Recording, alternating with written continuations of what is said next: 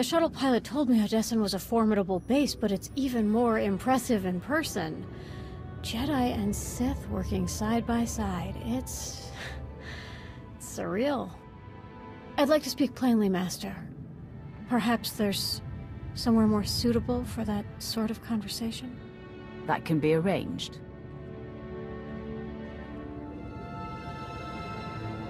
Once again, I find myself in your debt. Master Nostaral may have been captured, but he lives because of you. I am grateful for my time on Ossus, but I'm glad to be back.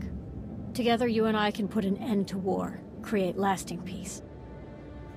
I'm looking forward to it, Jaesa. Thanks. I don't know what I would have done if you hadn't come to Ossus. I was never meant to be a Jedi. Master, I must be straight with you.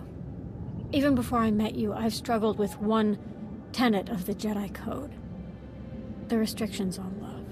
I understood it logically. Romance made fools of people, and a Jedi must be willing to sacrifice any individual for the greater good. And yet the way I feel when I think about you, it's...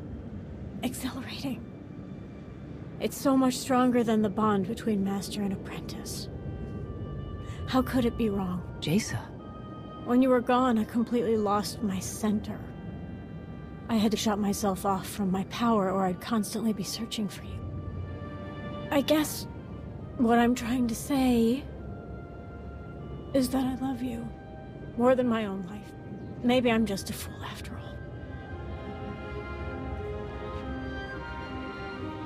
You aren't the only one, Jaesa. I love you too. This is more than I'd ever hoped for.